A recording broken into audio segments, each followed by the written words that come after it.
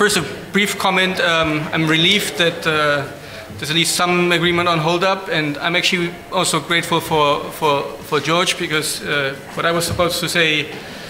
Know, I, I, in my day job, I'm a competition lawyer, and uh, you but at DG Competition, so what we do is when we enforce competition law, we basically need to establish whether or not there's anti-competitive effects on the market uh, in case at hand.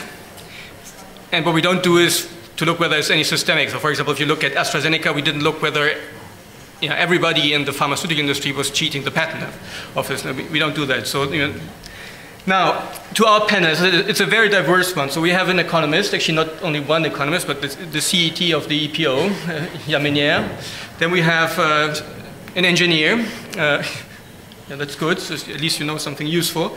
Um, Serge Raes from, uh, well, who works actually, so he has many hats. So he works uh, at, I think, who pays your bill? That must be Orange, I suppose. Orange. Okay, so that's Orange. But he's also uh, heavily involved in the ETSI and ITU IPR policy. So he knows, uh, you know, most of the people in the audience, I was about to say.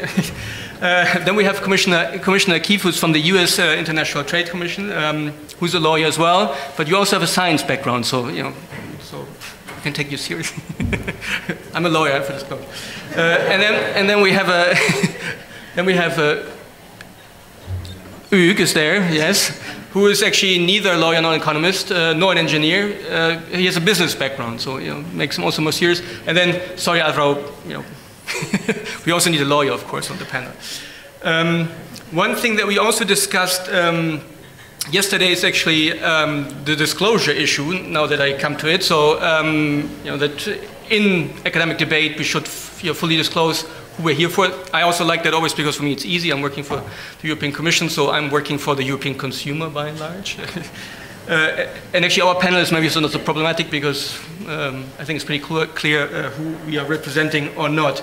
So, um, as to the structure, so the, we, the, way we will do it is basically there will be a presentation. So each panelist will give a short presentation of 10 minutes, and then we'll do a little bit, you know, reaction from the panel, and then at the end we'll have a you know, Q&A as in the other panel.